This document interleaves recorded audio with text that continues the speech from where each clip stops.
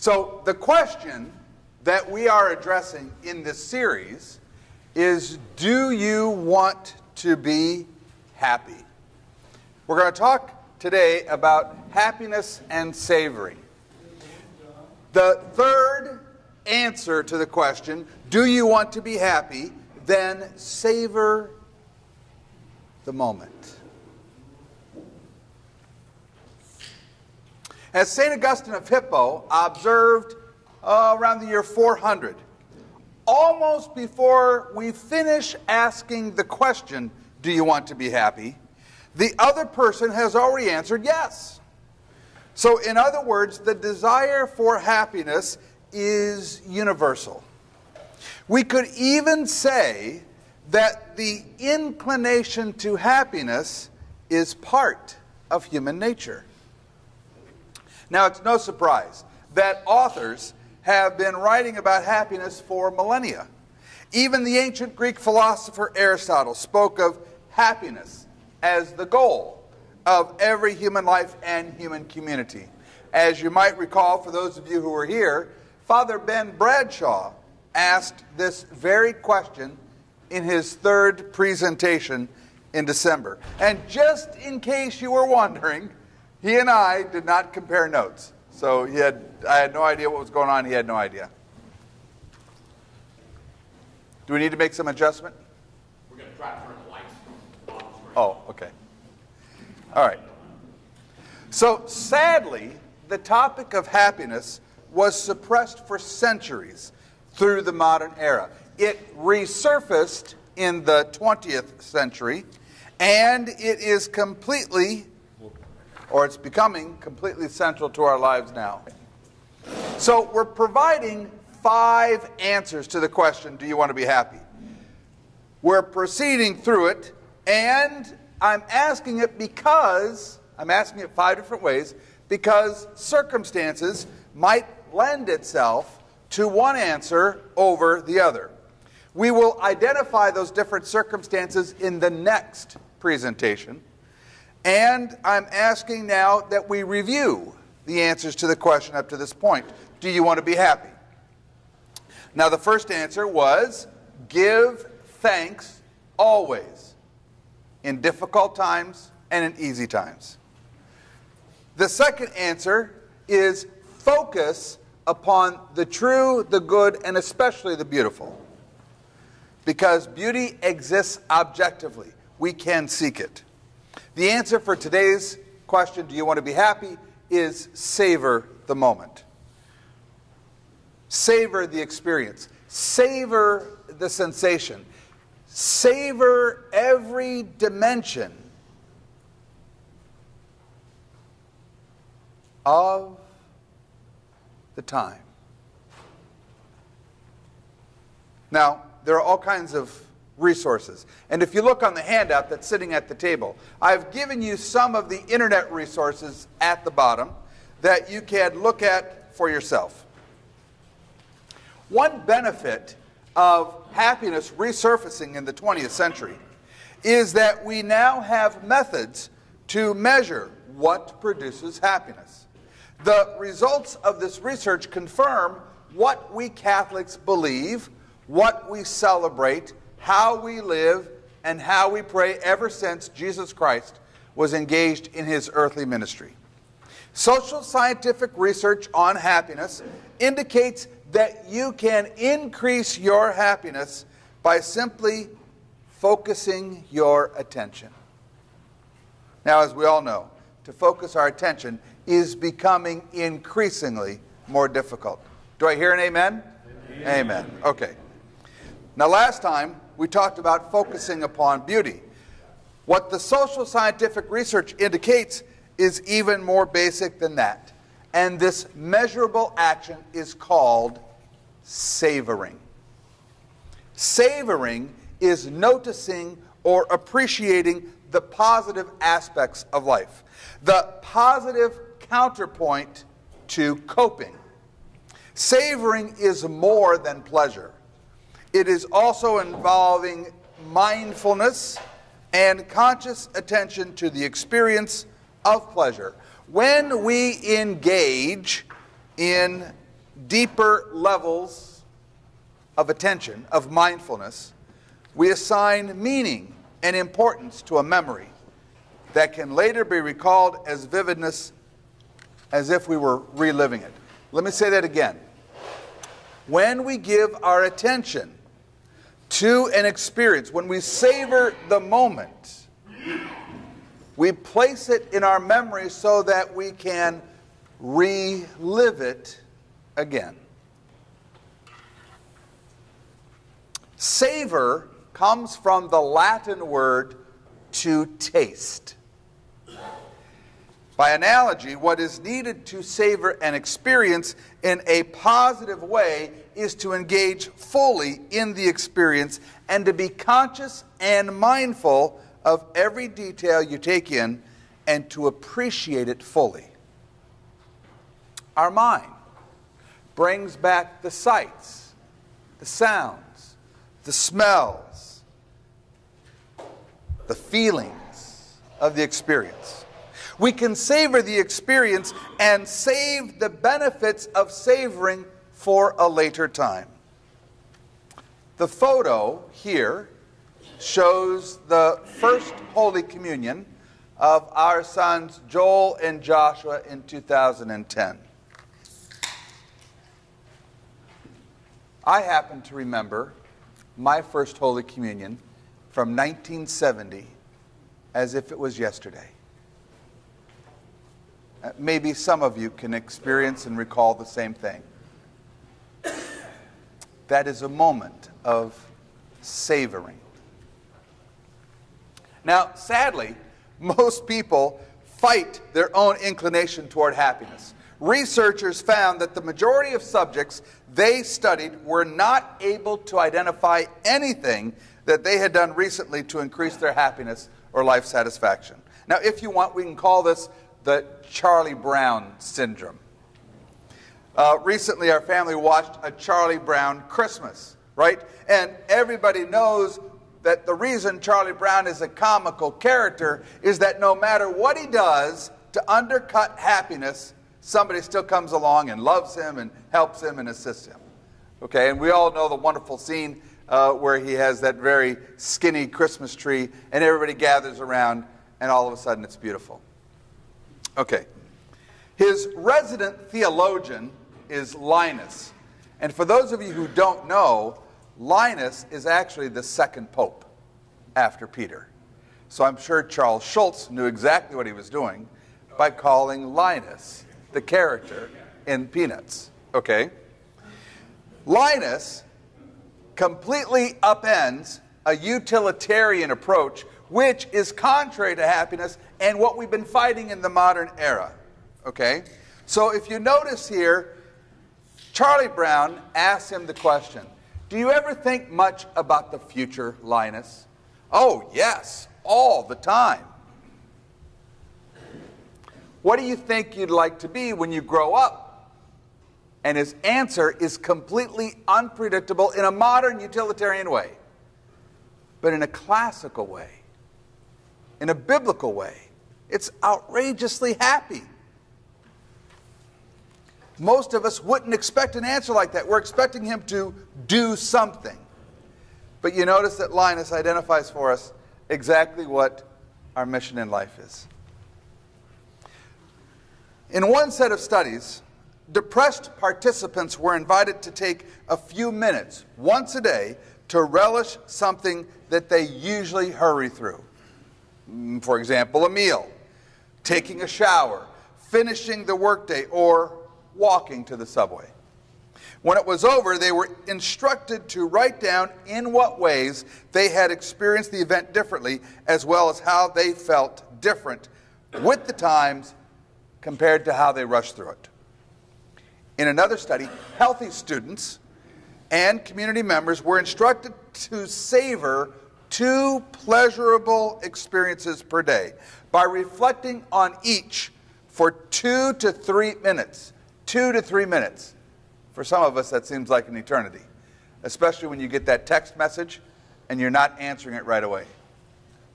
Okay. The idea was to try to make pleasure last as long as possible. And in all these studies, those participants who were prompted to practice savoring regularly showed significant increases in happiness and reductions in depression. So, the prescription that Dr. Fred Bryant provides for happiness is actually rather simple. It's difficult to practice, though. Just do one thing don't hurry through it. Slow down. Appreciate what you have. We all know that we should slow down, stop, savor the experience of life more, but temptations to distractions overwhelm us. In our consumeristic society, we are convinced that more is better, no matter what the more is. Interestingly, Jesus knew such temptations. He knew that his disciples would be distracted. So, what he wanted to do is he wanted to draw them even closer to himself and to rest in him, to savor his presence, despite all of the internal and external distractions. I want to give you two examples of how Jesus draws us closer. Now, first of all, you all know about St. Peter's profession of faith in Matthew 16 16. We Catholics quote it pretty often. The Lord tells Peter, Upon you I will build my church, right? Now, as a kind of test of faith, though, the Lord tells his disciples about his upcoming passion, death, and resurrection. Almost as if to say that he, Peter, and Jesus are all like a class above everybody else. Peter pulls Jesus to the side and says, May you be spared, Master. God forbid that something like that would happen to you. And Jesus turns on Peter and says, Get behind me, Satan. Satan is the Greek word, and it means adversary. Get behind me, Satan. You are a stumbling block, a scandal to me. You do not savor, is what it says in Greek. You do not savor, or you are not mindful of the things of God. Rather, you savor, you are mindful of the things of man. There aren't many times when that word savor is used in the New Testament, but that's one of them. It's a huge contrast. So, what are the things of God that Jesus wants Peter to savor, to be mindful of? Now, the answer is given immediately in the verses following this in Matthew 16. If you had your Bibles, you want to do a Bible study on this, you can look at it. What Jesus does is he provides words and then he provides actions. And the words present total discipleship to Jesus and total reward of eternal life in the Holy Trinity, in the presence of the angels and the saints. The second example that I want to give you about savoring, lest we become overwhelmed by the nail marks, if you will, and the splinters of the cross, which is there at the end of Matthew 16. In the very next chapter, Christ the Lord takes Peter, James, and John, and they go to the top of a mountain. Do you get the contrast here? First, he says, Get behind me, Satan. You've got to follow the cross. Take up the cross every day. Follow me. And then he says, Come with me to the top of the mountain. It happens six days later. Now, the six days, of course, is very relevant because we're still in the same week when he had reprimanded Peter after Peter's profession of faith. It also reminds us that God creates in six days. On the seventh, he rested, remember? And what did he do on the sixth day? He created humanity. All right. So Jesus takes Peter, James, and John. They go up a high mountain, And then Jesus shows him something that no human being has ever seen before. Get that? No human being has ever seen before.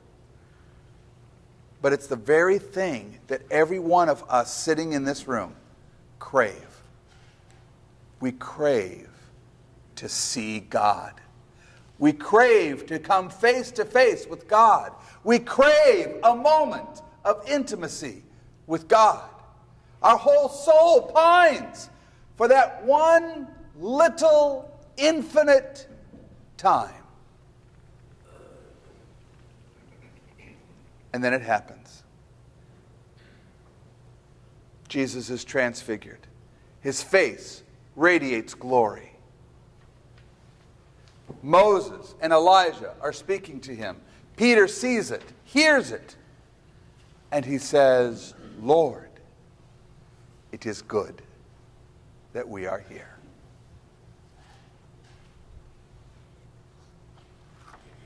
That's savory. So if you want to be happy, savor the moment. Savor every dimension of the moment. If you are new to St. Leo's Lunch, we're really glad you're here. Thanks for joining us. We hope that you will join us in the future as well.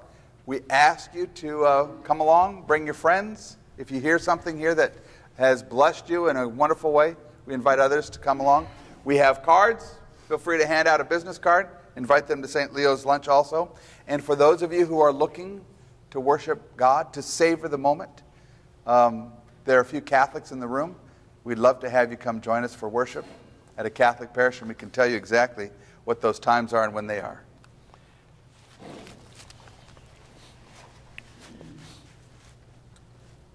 I'm 71 years old. I'm in my 33rd city, 19th state. I was born a cradle Catholic, left the church in my early 20s, and came back about 25 years ago.